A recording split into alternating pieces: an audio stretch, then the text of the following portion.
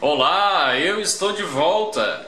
Bom, eu sou Hugo Gonçalves e hoje eu estarei respondendo uma pergunta que sempre me fazem. Tocar guitarra é mais difícil do que tocar violão?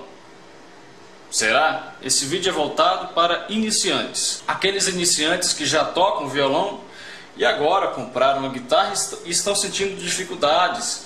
Ah, mas o que eu devo estudar para poder conseguir tocar a guitarra melhor?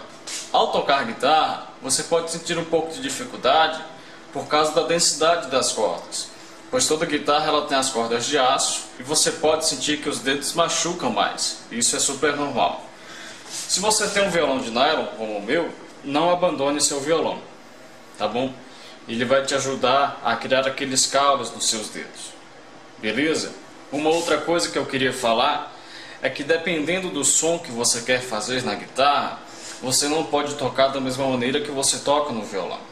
Tem aqueles acordes que nós chamamos de acordes abertos, que são geralmente acordes que nós fazemos no violão.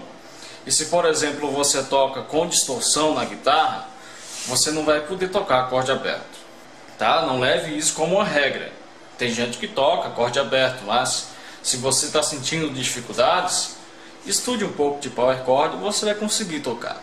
Né? Tem o nome dele aqui, se você quiser pesquisar um pouquinho mais sobre, sobre ele, pesquise.